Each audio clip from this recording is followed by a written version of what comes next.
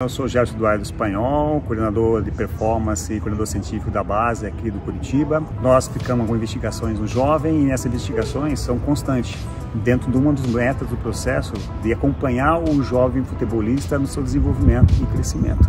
E aí os especialistas das áreas específicas hoje, nutrição e fisioterapia, vieram dar uma contribuição compartilhando conhecimento com os pais sobre como lidar com a questão da alimentação saudável para o crescimento desse futebolista jovem, como também como fazer a prevenção, algumas vezes, como o trabalho que o Curitiba faz, para prevenir lesões esportivas específicas do futebol.